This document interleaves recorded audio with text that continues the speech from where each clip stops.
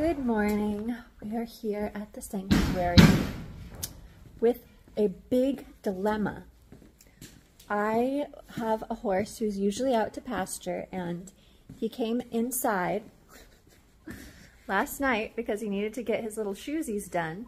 And so I put him in this stall so the shoer could find him and do it. And I had a stall guard on this stall door because I know it doesn't really work. Once you uh, open it, you can never get it back the other way. And so now this horse who hates being in a stall is stuck in a stall. and it's a big problem because he's going to bang on it all day, which is making it worse. And now the track is totally bent.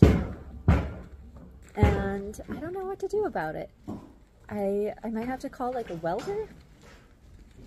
Danny! Danny, what's going on, baby? You got stuck in there? Oh, honey, I'm so sorry, Angel. We'll try and get you out. Oh, look at that face, you guys. He wants to get out so bad. And I can't do anything about it. I can't even get in there. It's so unfair. Oh, honey, I know. Oh, look at the sadness in his eye. Danny. He's frustrated. Okay, I'll work on getting someone out here to rip off this stupid stall door. I know it's stupid, honey. I'm sorry. Also, you guys, Danny here, very handsome young man, perhaps in his late 20s.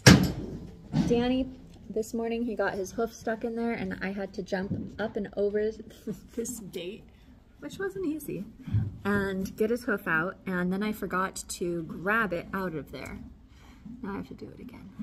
But anyways, this little boy would make an excellent child's horse. He was formerly a beach trail riding horse at a trail riding place around here.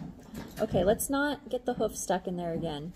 Please, please. Okay, I'm gonna have to deal with this right now. Okay, Danny, participate. He's too frustrated. Danny, Danny, no. Oh. Smiling for the camera. Very handsome, baby. You look good. I know you're frustrated, Angel. We'll get you out of here, okay? Look at that face, you guys. Oh, he's so angry right now. Ah, poor baby, stuck in a stall. I mean, this is a really nice stall. He does have the ability to go outside and see his friends, but it's really just not good enough. He wants to be full freedom in the pasture and he says this place is bullshit and get me out of here. Do you have like a little claustrophobia? What's going on, baby? Okay, now we can go outside. I think that's a better choice for him. Okay, let's see Max. Max! Is that your buddy? Hi, honey. Oh, hiding. A little bit camera shy, honey? A little bit. So, he's just, however I move, he's behind me. So cute. So this charming young fellow would make an excellent child's horse. Um, I wouldn't want anyone over 150 pounds to sit on his back. Even though he is in excellent shape, you can see all of those little white spots on his back. Those are saddle sores from ill-fitting tack.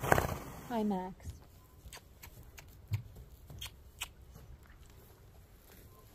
He needs his morning kisses. Okay, we're back in the stall. He's decided there's got to be a way out. He's going to figure it out. What is it, Daniel? What is it, Daniel? It's going to be okay, honey. So, uh, this stupid stall door. Hi. He's very curious. So, sorry, I keep losing my train of thought. He's very distracting. Very cute. He would make an excellent child's horse or um, a light adult. He does not do anything but walk. He cannot trot or canter. He's not lame. He just doesn't do it. and he deserves not to. So he is walk only. I mean, he runs around in the pasture of his own accord, but he doesn't want to carry anyone at anything more than a walk. And I think that's perfectly fine choice for a horse to make. He's very good on the trail, obviously, as a former excellent trail horse. Honey. and uh, he is looking for a home. He would also make a great companion horse to another horse. However, he does tend to get bullied. He's kind of a shy, sweet guy, and um, I would only ask that if he were rehomed as a companion horse, that, that horse is going to be nice to him. Honey, it's going to be okay. He's trying to tell me, come on, get me out of here, get me out of here. Come on, let's go. I know you're frustrated. I'm going to work on it, baby. All right, I'm to make some calls to see if someone can get us out of this stall.